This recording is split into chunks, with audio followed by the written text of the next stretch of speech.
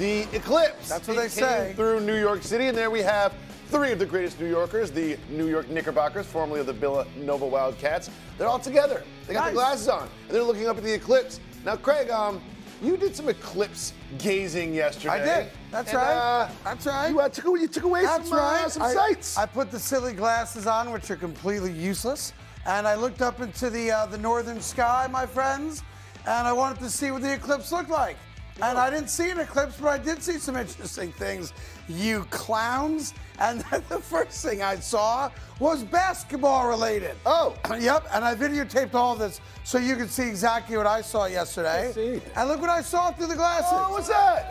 The New York Knicks made the Eastern Conference Finals, and they play the Boston Celtics. That's what I saw yesterday in the Eclipse. And don't sleep on the Knicks because the two seed is on the table, three for sure is on the table, and the three seed, of course, uh, makes allows them to avoid the Boston Celtics in the second round, and then they would only get to face them in the Eastern Conference Finals. And remember this: we said all year long, we got to get Anunoby back. They got him back. He's played two games now. The loss to the Bulls, and then of course the big win on the road against Milwaukee over the weekend. And now, if you take a look at it right there, you can see that the Knicks are only a game behind in the loss column against the Bucks. And why I'm so bullish on the Knicks? A, I'm a fan, so I'm jaded by my fandom for sure. But two, Milwaukee's lost four consecutive games now. They're buddy. under 500 with Glenn Rivers as the head coach, and there's no reason to think that they're just going to wake up and right the ship. Yeah, I just want the Knicks to understand that the Bulls, as much as they stink, they're still going to put up a fight, right? And I Yeah. understand Hart got kicked out of the game last week, and Mitchell's been in and out, and OG's back. I love all that, but they got to continue to play gritty and strong, and they got to win tonight. Bottom line. Yes, that's exactly right. And then I put the glasses back oh, on. oh, did? Oh, okay. And I took a look back up into the northern sky yesterday. Sorry, Jacoby, but I saw that. The Oh, Buffalo yeah. Bills Bills Super Bowl suck. window is now officially closed. What? Uh, Stefon Diggs is gone. Half the defense is gone. Half the offense is gone. They don't have a legitimate one receiver. They don't have a legitimate number two receiver. Uh, it is a mess in Buffalo. They're in cap hell. They've done nothing to improve the team. And even in trading Stefon Diggs, who goes the same way that Gabe Davis went, and White went, and Poyer went, and all the other guys that they lost, the Bills have done nothing to improve their team unless you think getting Mitchell Trubisky to back up the great Josh Allen makes the Bills better. This is a waste year now for the Buffalo Bills. I Bills. completely disagree. I think they've made very difficult decisions for the franchise. Is that And what they did is they Yeah. they got rid of a bunch of older players that were overpaid. Yeah. And now they're going to restock. I wouldn't call it a rebuild. Yeah. It's a reset year. As you mentioned, they were in cap hell. They needed to do something. They're still cap hell. Next year, they're going to be in a much better spot. I remember they're eating about $32 million this year for uh, Stefon Diggs, who's not there. And oh, by the way, the Stefon Diggs trade got them zero draft picks for this year. The draft pick they got, that second round draft pick, isn't until next year's draft. So this is going to be one of those waste years uh, that some teams go through. Well, some teams uh, go through it. So this is going to be a waste year. A waste year. They have no chance this year. You know that. No They- chance. By the way, they know it. Like if they couldn't get there last year when you had those guys that they've now said goodbye to, and you've got the Jets coming back locked and loaded, whatever you think the Dolphins are, I don't think they're very good either this year. Considering on defense they lost so many pieces, and New England's going to suck. This is a waste year for the Bills. This is one of those years where maybe you go nine and eight, you're alive in December for a wild card spot. You can win a Super Bowl, and the fans go, okay, they're restocking. Kind of like, you know, the local lake that brings in trout every year for you to catch and take home. That's what the Bills are. Yeah, at the end of the day, also recognize this. Like they were, they were crumbling last year. Valley, they kind of made a resurgence once they fired uh, uh, Ken Dorsey. But overall, it was we uh, Tua in week 17 and 18 that threw those picks that handed That's them right. the division, right? That's right. So they weren't kind of cruising. It took other people to mess up along the way. for them to Again, I'll say it a million times. Tua and Mike McDaniel have never won a playoff game. That's the only hope the Bills have of coming in second place is that the Dolphins regress more than place. they did. But th- this division's over. Yeah. Like it's a wrap. Second the New place. York Jets have won this division and they're winning by three games. This will be the most non-competitive division that we have in all of football this year. And then I put the glasses back on. Yeah. And I looked to the southern sky. Oh. And what did Oh, I see? south, right? Sorry, Kansas City. Oh. The Super Bowl run does come to an end. I saw this crystal, crystal, crystal, crystal clear Oh. yesterday. Because remember this Patrick Mahomes, the rock star that he is, who was his go to guy last year? Rashee Rice. Rice. Yeah. Rashee Rice will probably known next year as prisoner 143297R because he's probably going to do some time after the uh, traffic accident and the drugs that were in the car and who knows what else might have been in that car. And they have not complimented that offense enough outside of hiding Hollywood Brown, which is a good signing. Yep. Not going to say that it's not. And you bring back an you know an older defense. You lose your best cornerback, obviously, uh, which made no sense to me whatsoever. Uh, saying about the Jerry Sneed, and let's just say it the way it is. It's impossible. No one's ever won three straight. And if my guy Tom Brady couldn't do it, then Patrick Mahomes isn't going to do it either. Still a very good team.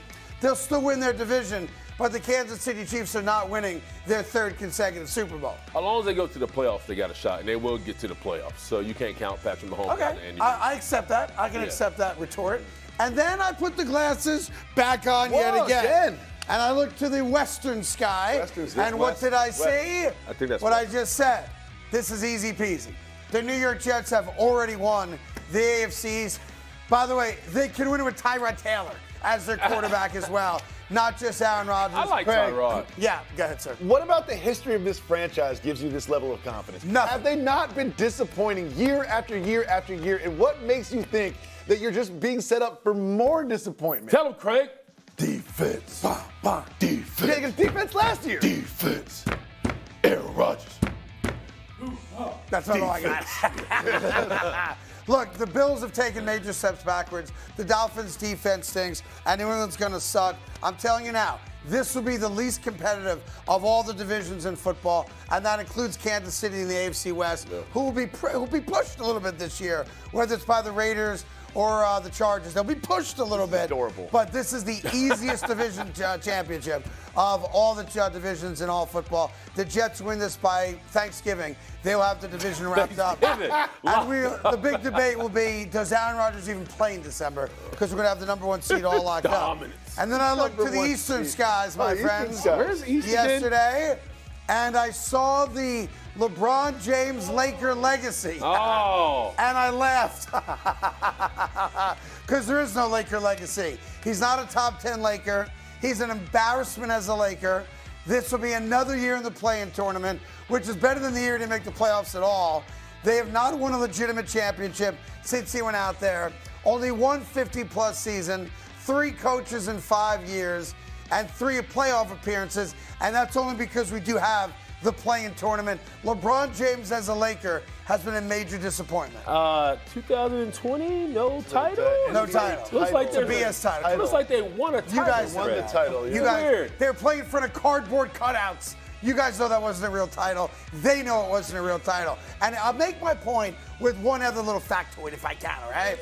I can support this uh, commentary quite simply because if you had won a real championship, if your legacy in LA was one of your caviar and high omakase dinners, and people look back and went, what a great five year run in LA, you would not have had a banner ceremony for winning an in season tournament.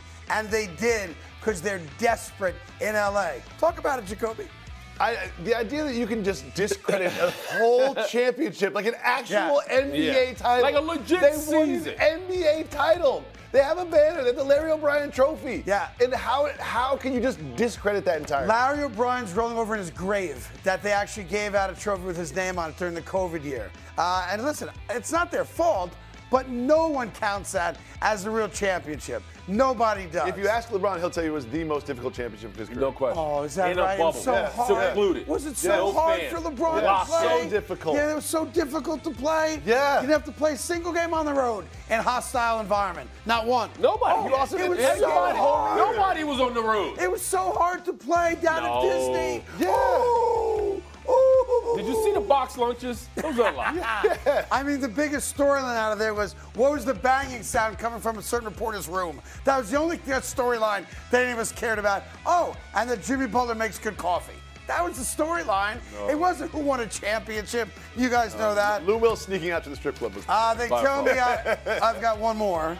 And Lemon pepper. I'm not sure if this was just my own personal uh, experience yesterday with um, the alleged eclipse. Oh! I think I missed that. Yeah, uh, that's what I saw. Uh, that's, that's what I saw. That's what I saw. Um, I don't even know who they are, but I liked Yeah, it. I think you know Yes, one of you them. do. You Little know Christian exactly who they are. I can't. I can't see with these glasses. Well, the view's great from where I'm looking at.